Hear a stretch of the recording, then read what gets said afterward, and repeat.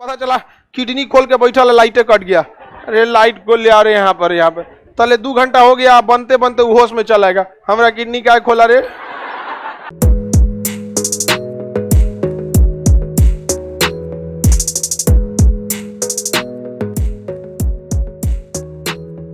देखिए, इसमें कुछ काम धाम नहीं रहता है, इसमें ट्रांसफार्मर बहुत सिंपल डिवाइस होता है ट्रांसफार्मर में। तीन को दो धड़ देख रहे हैं। इसके नीचे तीन टो ना क्या होता है? कॉयल होता है। तीन टो पिलर होते हैं और जिसमें क्या लपेटा रहता है? कॉयल लपेटा होता है। क्या लपेटा रहेगा? कॉयल लपेटा रहता है। ये वोल्टेज को क्या कर देता है? बढ़ा देता है।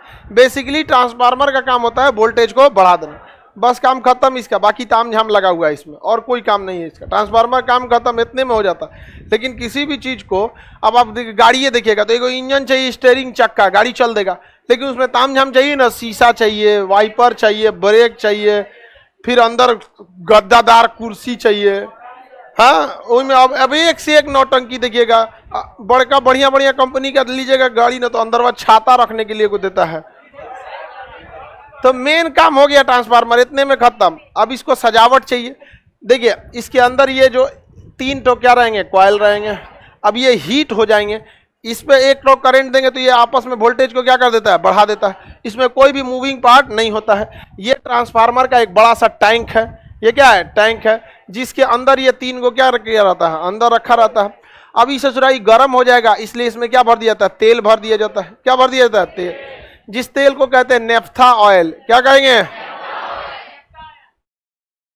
Naphtha oil. ट्रांसफार्मर में कौन सा तेल भरा जाता है?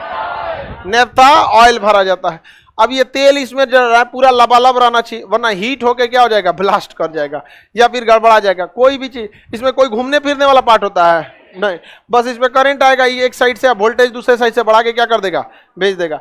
इसमें क्या भरा रहता है? ऑयल अच्छा इसमें ऑयल पूरा लबालब भरा रहता है। और ये एक्स्ट्रा एक्स्ट्रा टंकी होती है। ये देखिए एक्स्ट्रा टंकी है ना ये? ये इस, ये हो गया आपका एक्सपेंशन टैंक बोलते हैं इसे। क्या कहेंगे? एक्सपेंशन इसमें तो तेल भरबे किया है। एऊ में भर देता है, आधा। समझ में आ गया? तो ट्रांसफार्मर में दो जगह भरा जाता है। एक मेन टैंक में ऑयल लबालब, और एक्सपेंशन टैंक में आधा। तेल जो ट्रांसफार्मर में भरा जाएगा, ध्यान से समझो। ये तेल का यूज़ बस दो ठो होता है। एक हीट को कम रखना, दूसरा आवाज़ को घटाना। ट्रांसफार्मर में एक हमिंग साउंड आता, गन ऐसे बजते रहे। तेलवा नहीं रहेगा ना तो और ज़्यादा गनगनाएगा वहाँ पर। फिर साउंड निकलेगी तो वो एनर्जी क्या होगी? लॉस होगी। तो तेल हमेशा भरा जाता है किसके थ्रू बैल एक्सपेंशन टैंक के थ्रू किसके थ्रू एक्सपेंशन टैंक के थ्रू क्या भरा जाता है? तेल। और ये तेल एक्सपेंशन टैंक को होते हुए कहा जाता है? मेन टैंक हंड्रेड परसेंट जब मेन टैंक भर जाता है तो वो तेल किसमें आता है? एक्सपेंशन एक्सपेंशन टैंक को कितना भरा जाता है? आधा। समझ में आ गया? आधा इसलिए भरा जाता है कि देखिए, जब ये खोलता है तो इसको जगह मिल जाए। ठीक है?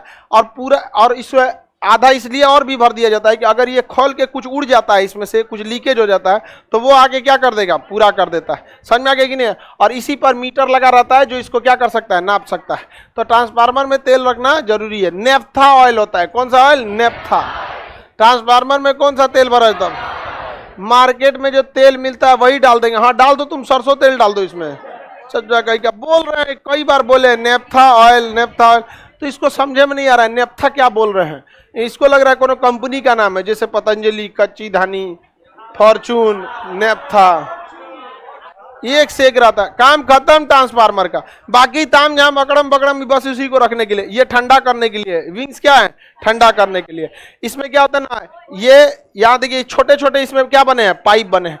जब ये गर्म होता है तो गर्म ऑयल इधर से जाता है।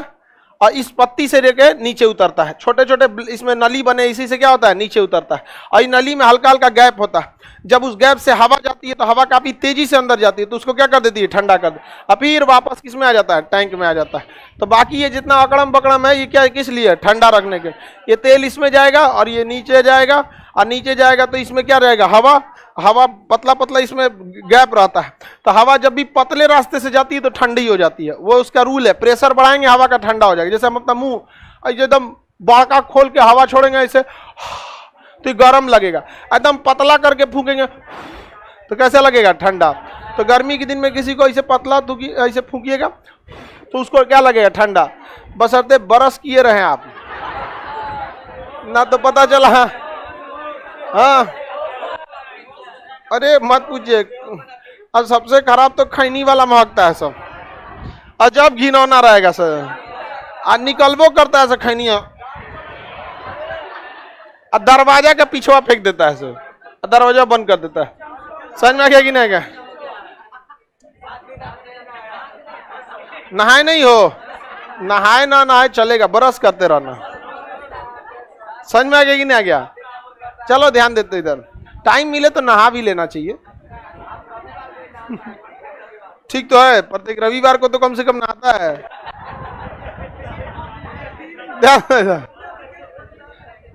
इधर देखो अरे रोज नहीं हो, नहाओगे, चलेगा। चलो इधर देखो। रोज पढ़ाई करना ज़रूरी है। तुम नहाने के लिए आयो कि पढ़ने के लिए आयो हाँ तो पढ़ाई नहीं छूटना चाहिए। बाकी सजे धजेगा सब यहाँ पे। पढ़ाई नहीं छूटना चाहिए। बाकी सर, खाना, पढ़ाई, नींद, ये तीन चीज़ बहुत ज़रूरी है। बताइए जो अकड़म बकड़म इकाई लिया ठंडा। विंग्स है ये, विंग, ये क्या करता है? ठंडा करता है। अब इसमें जितना बड़ा ट्रांसफार्मर, उतने विंग्स निकाल देगा यहाँ पर। एक उधर निकला, एक इधर छोटा सा, एक इधर से, बस ये क्या करता है? ठंडा करता है। बस ट्रांसफार्मर में लगता है कौन चीज़ एक तो क्या बनाना है? टैंक, और उसमें तीन टो क्वाइल लगा देना है, काम खत्म। और एक एक क्या देना है? एक्सपेंशन टैंक ऑयल को किधर से भरना है? एक्सपें तो हमिंग साउंड को क्या करेगा? कम करेगा और क्या कर देगा? ठंडा कर देगा। किसी को कोई दिक्कत नहीं। अभी ट्रांसफार्मर को टांग दीजिएगा कहाँ पर? पोल पर। किसी को कोई दिक्कत नहीं ना। ट्रांसफार्मर पोल पे डाल दीजिएगा, उसके नीचे फोचका वाला अपना ठेला लगा लेगा। किसी को कोई दिक्कत नहीं। गाँव वगैरह में देखते होंगे ट्रांसफार्मर उड़ जाए ट्रांसफार्मर के सामने बैठकर पढ़ाई कर रहे हैं। एकदम सही बता रहे हैं आप। हो सकता है उसके घर के सामने ट्रांसफार्मर होगा। तो देख रहा है वहीं से देख के एकदम। आगे बढ़े। तो ये तो ट्रांसफार्मर की बनावट हो गई। क्या हो गई? ट्रांसफार्मर की बनावट। तो ये ट्रांसफार्मर के बीच में क्या होता है? क्वाइल होता है। और क्वाइल किस पर लपेटा रहता है? नरम लोहा पर। किस पर? लोहा? नरम। तो ट्रांसफार्मर का कोर किसका? नरम लोहा। इस पे क्वाइल किस चीज़ का? कॉपर का। क्वाइल किस चीज़ का? तेल कौन सा? नेफ्ता जो सामान लगना था, लग गया। अब कुछ नहीं। इस टैंकवा में कौन सा ऑयल नेफ्था नेफ्था ऑयल को एक्स्ट्रा एक टैंक में एक्सपेंशन ठंडा करने के लिए विंग्स विंग्स ब्लेड होते हैं इससे ठंडा। ऊपर से जाता है, नीचे आता है तो हवा मार के क्या कर देता है, ठंडा। पतले रास्ते से हवा निकलता है, क्या ठंडा कर देता है। अभी इधर से रहेगा कई ट्रांसफार्मर बहुत हैवी रहते हैं तो उसमें पंखा लगाया रहता है। बट वो बहुत हैवी ट्रांसफार्मर रहता है, उसमें क्या लगा देता है? पंखा फ़ैन लगा देता है कई कई जो बड़ी बड़ी कंपनी होते हैं एसी लगा देता है ट्रांसफार्मर के पास। अब कोई बड़ा कंपनी है टाटा स्टील है, या एम्स का कोई एम्स हॉस्पिटल है, जैसे पीएमसीएच हॉस्पिटल है ना इस सब में तो ऑपरेशन थिएटर में एक से एक मशीन चल रहा है तो उसके जो ट्रांसफार्मर सप्लाई देता है उस पर क्या लगा देता है? फ़ैन और एसी लगा देता है। हॉस्पिटल वगैरह में पता चला, किडनी खोल के बैठा लाइटें कट गया। अरे लाइट को ले आ रहे यहाँ पर, यहाँ पे तले दो घंटा हो गया बनते बनते होश में चलाएगा हमारा किडनी का खोला रे। मार हो जाएगा, वहीं पे रख रख। लेके घरे जा रहा था। बवाल हो जाएगा। आगे बढ़े। ये गधा पूछ रहा है नेफ्था ऑयल कहाँ से खरीदेंगे? अरे, चुट्टा, जो ट्रांसफार्मर खरीदेगा, वही ना नेफ्था ऑयल खरीदेगा। बना रहा है घरे। अरे एक से एक रहता सब। वोल्टेज इंडक्शन से बढ़ाएगा। चलिए ध्यान से समझिए मेन चीज़ पे। जब भी इस पे लो वोल्टेज दीजिएगा आप तो यहाँ पे जो कॉयल होते हैं, जब किसी एक कॉयल पर करंट जाता है और ठीक बगल में दूसरा कॉयल रहता है तो इससे करंट इस पर क्या हो जाता है? शिफ्ट हो जाता है।